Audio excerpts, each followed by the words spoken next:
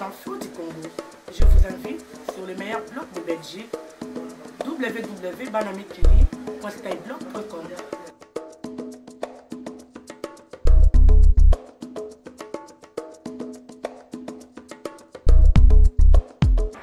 Les relations se crispent à nouveau entre Paris et Kinshasa alors que François Hollande doit se rendre samedi au Congo pour le sommet de la francophonie. Le président français s'en est pris au pouvoir congolais.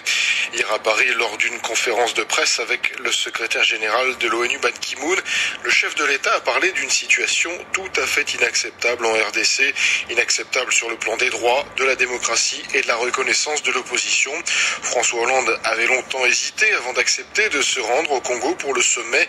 Et là encore, il affiche une position de fermeté, Guillaume Thibault. Mettre une dernière fois les points sur les i et empêcher toute instrumentalisation. Que les choses soient claires, affirme un conseiller de l'Élysée. François Hollande ne sera jamais la caution de ce gouvernement congolais. Et si à Kinshasa, l'expression la situation des droits de l'homme est inacceptable, a froissé, énervé et n'est pas digne d'un chef de l'État, estime un proche de Joseph Kabila, à Paris, l'offensive s'est organisée. C'est un acte volontaire dans la continuité de ce que nous avons déjà dit, explique l'entourage du chef de l'État français. Nous voulons un dialogue franc et direct. Certains en France défendent même l'idée d'une refondation de la politique française sur le continent. Nous voulons que ce sommet serve la RDC, marque l'histoire de ce pays et celle de l'Afrique, explique l'un des porte-parole de Hollande. Reste que cette offensive présidentielle en a surpris plus d'un. Le chef de l'État veut visiblement être incisif, explique un diplomate en poste au Quai d'Orsay. Il ajoute Hollande a dit qu'il voulait tout dire partout, mais là, c'est quand même radical. Je ne suis pas certain que la provocation amène de bons résultats.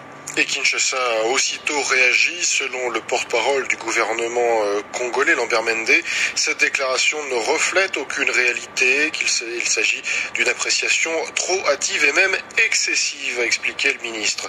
En tout cas, du côté de l'opposition congolaise, cette fois, on se frotte les mains. Pour l'opposant Martin Fayoulou, député des forces acquises au changement, le chef de l'État français a vu juste. La déclaration du président français est tout à fait juste parce que nous n'avons pas de démocratie, parce qu'il y a une crise de légitimité et le président français a totalement raison de considérer que rien ne va au Congo. Donc il ne peut pas cautionner un pouvoir qui est là par défi un pouvoir qui est là parce que il a usurpé les résultats des élections. Donc euh, nous disons merci président Hollande et nous sommes aujourd'hui contents de constater que le président Hollande parle le même langage que nous.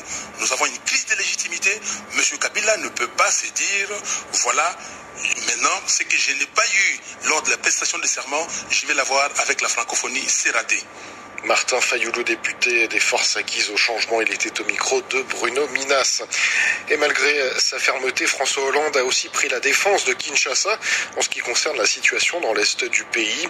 Le chef de l'État français a condamné l'agression sur ses frontières en provenance de l'extérieur, notamment dans les Kivu. Dans cette région, l'armée régulière affronte les rebelles du M23, soupçonnés d'être soutenus par le Rwanda. D'ailleurs, dans la nuit de lundi à mardi, encore les violences ont fait un mort et 22 blessés une explosion à Goma, capitale du Nord Kivu. Des inconnus à moto ont jeté une grenade sur la foule dans le quartier de Mapendo. En réaction, le maire a interdit toute circulation des mototaxis en ville entre 18h30 et le lever du jour. Bozali va représenter à Satan 666.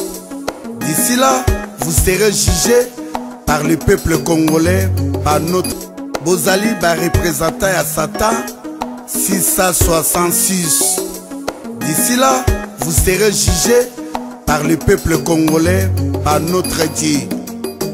bozwi élection ya peuple congolais bopesa yango na arido hippolyte kanambe oyo aza na même pas bagage politique na mboka na biso asali 10 ans 11 ans na pouvoir 10 millions de morts 2 millions de femmes violées 1250 femmes violées par heure 48 femmes violées.